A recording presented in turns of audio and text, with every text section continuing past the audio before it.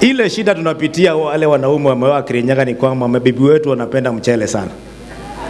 Mshere, unaambiwa ukipita pale Mwea Grubani niletee mchele ya kule nyumbani, lakini most of the time nikifika pale nikinunua mchele, nafika nyumbani naambiwa mimi sikukuambia ununue mchele ya Pakistan, nilikuambia ununue ya Mwea. Nasema nilinunua pale, naambiwa hapana, hii si ya Mwea.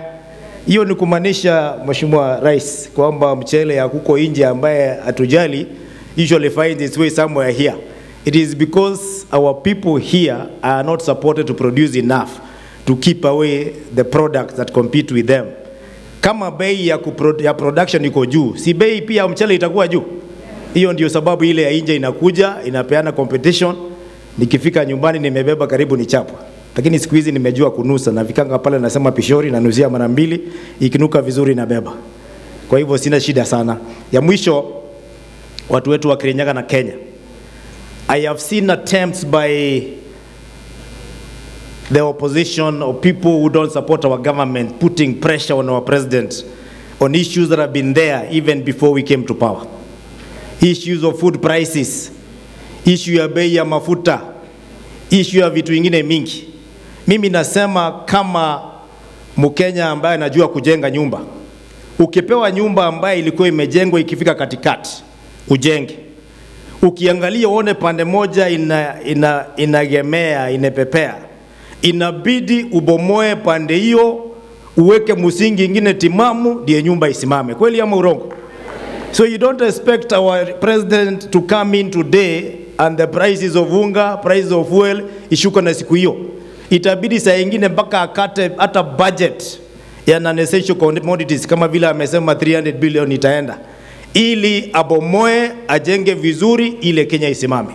Nataka kukumbusha kwamba kuna siku ulikuja Mwea pande ya Embu, Mwea Ward, na ulisema kwamba eh, hii fiba damu ikiisha utakuja unyenyekee kwa watu wa Kirinyaga, utuombee kamfereji kadogo kamaji kateremke mpaka Mwea, ndio hata watu wetu wa Mwea wapate maji.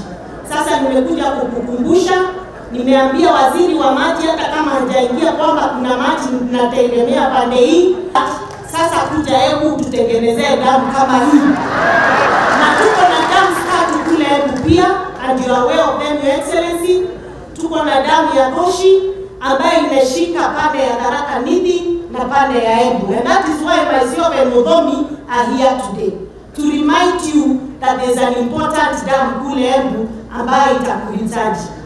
Pia tuko na ya Kamomo, na ndio maana mheshimiwa alikuwa ako hapa, na tuko na ya Rupingazi, ndio maana mheshimiwa Mkoji ako hapa. The Republic of Kenya, Dr. William Ruto, Your Excellency the Deputy President, Honorable Rigathi Gachagua, my colleagues, governors, all the political class here present, na wananchi wa Kirinyaga Mwaro, asifiwe. God is good and all the time. Asanti. Tumeshukuru sana kuwa hapa siku ya leo. And Your Excellency, when I was told you're coming, I decided I must come.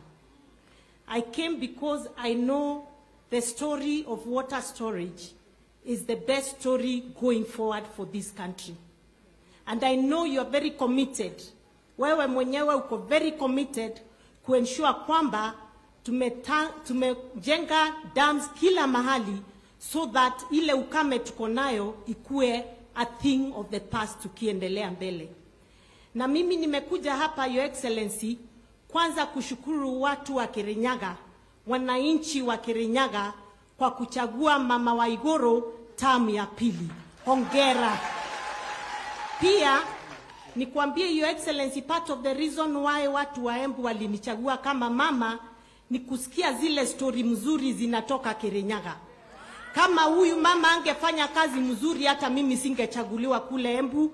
So I want to thank her for the great job she has done to the people of Kirinyaga, na amekuwa my consultant. Yeye sasa ndiye naenda kwake, ananielezea enda hivi, enda hivi, enda hivi, kwa sababu mimi ni mono, yeye ndiye ananitoa hiyo umono. na anafanya kazi mzuri sana. Pia Your Excellency, you gave me a task. Uliniambia nihakikishe Governor Waiguru amekuwa chair wa Council of Governors. And because uliniamrisha mimi nilienda nikafanya campaign nikahakikisha amekuwa chair wa Council of Governors. Kwa hivyo kwa sababu I delivered, sasa kuja Embu tutengenezee damu kama hii, na tuko na damu tatu kule Embu pia, and you are aware of them your excellency. Tuko na damu ya Dhoshi ambayo inashika pande ya Tharaka Nithi na pande ya Embu, and that is why myself and Mudhomi are here today to remind you that there's an important dam kule Embu ambayo itakuhitaji. Pia tuko na ya Kamomo na ndio maana mheshimiwa Ruku ako hapa, na tuko na ya Rupingazi, ndio maana mheshimiwa Mukunji ako hapa, wakiongozwa na seneta wetu Mundigi. Kwa Koguo tutoka kuvoya wanatu andu wetu. Tondu mundu mundu anga mundu angate kwiaria na mundu angaine gwika atia? So mimi nimekuja kuongea mambo ya, ya Embu kwa sababu nilisikia mkubwa ako hapa karibu, nikakimbia. Kuje nimwambie shida za Embu. So your excellency, we look forward to welcoming you to Embu. Ukimaliza Kirinyaga, tafadhali kuja Embu, tuko hapo tunakungoja utuletee maendeleo. And we love you very very much and I know you know that. Finally, your excellency, nataka kukumbusha kwamba kuna siku ulikuja Mwea pande ya Embu, Mwea Ward, na ulisema kwamba eh, hii Thiba damu ikiisha utakuja unyenyekee kwa watu wa Kirinyaga, utuombee kamfereji kadogo kamaji kateremke mpaka Mwea, ndio hata watu wetu wa Mwea apate maji. Sasa nimekuja kukukumbusha, nimeambia waziri wa maji hata kama hajaingia kwamba kuna maji nategemea pande hii namwe andu wa kirinyaga nienda kumuvoya kamupaipu kanini tu kamai kathie gatethia andu akwa kuria mwea. Mugetikira na gakithituka tukamuva tunini tunini tunini gacoka gakinyire andu akwa mungu awabariki. Your excellency thank you very much. Deputy president thank you. We love you rigiji. Keep coming. God bless you. Thank you very much.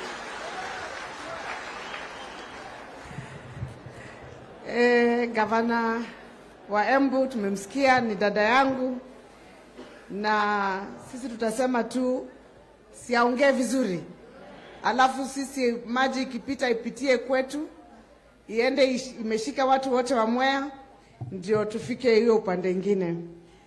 Asante sana gavana Sisili. Sasa ningependa kuomba ndugu yangu kutoka tharakanithi gavana Mudhomi Njuki asalimie watu wa Kirinyaga na niseme hivi, sijui kama mnajua na moe Mudhomi Njuki ne in-law wito. Kama mjui, Mrs. Mudhomi Njuki ametoka Kirinyaga County, ni dada yetu, kwa hivyo yeye ni in-law kule Council of Governors, ninamuita Mudhoniwa. Karibu sana.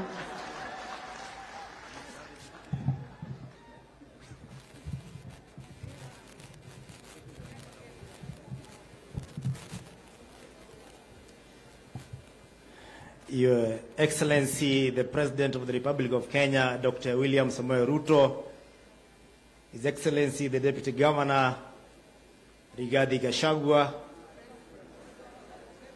the Deputy President, Rigathi Gachagua. Unajua nikiwa kwa wadhoni saa ingine naendanga namna hiyo. But I mean well. His Excellency the Governor, all the elected leaders na viongozi wa national government, andũ a Kirinyaga murega murega rĩngĩ.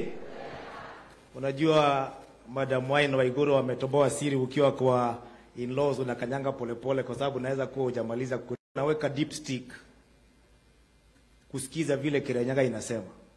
Unajua mimi niko na kaunti mbili vile umesikia kuna vile ningeenda kule nishindwe kutembea hapa but I was very happy wakati Kirinyaga na Tharaka Nithi iliongea lugha moja ambaye ni lugha ya Kenya kwanza, lugha ya, ya, ya president wetu wa Jamhuri ya Kenya ambaye yuko sahi. Si tutatembea pamoja vizuri?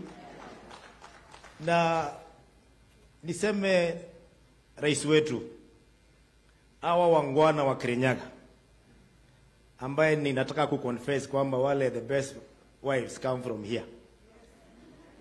Ile shida tunapitia wale wanaume wameoa Kirinyaga ni kwamba mabibi wetu wanapenda mchele sana.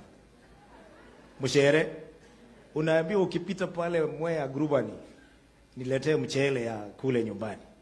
Lakini most of the time nikifika pale nikinunua mchele nafika nyumbani naambiwa mimi sikukuambia mchele ya Pakistan, nilikwambia ununue ya Mwea. Nasema nilinunua pale. Naambiwa hapana, hii si ya Mwea. Hiyo ni kumaanisha Mheshimiwa Rais kwamba mchele ya kuko nje ambaye hatujali usually find its way somewhere here. It is because our people here are not supported to produce enough to keep away the products that compete with them. Kama bei ya, ya production iko juu, si bei pia mchele itakuwa juu? Hiyo ndio sababu ile ya nje inakuja inapeana competition. Nikifika nyumbani nimebeba karibu ni chapa, lakini siku hizi nimejua kunusa. na vikanga pale nasema pishori, nanuzia mara mbili, ikinuka vizuri na beba. Kwa hivyo sina shida sana. Ya mwisho Kenya. I have seen attempts by the opposition or people who don't support our government putting pressure on our president on issues that have been there even before we came to power. Issues of food prices, issue ya bei ya mafuta, ishu ya vitu vingine mingi. Mimi nasema kama Mkenya ambaye anajua kujenga nyumba, ukipewa nyumba ambayo ilikuwa imejengwa ikifika katikati, ujenge. Ukiangalia uone pande moja ina ina inagemea inepepea, inabidi ubomoe pande hiyo, uweke msingi ingine timamu, ndiye nyumba isimame. Kweli ama urongo? So you don't expect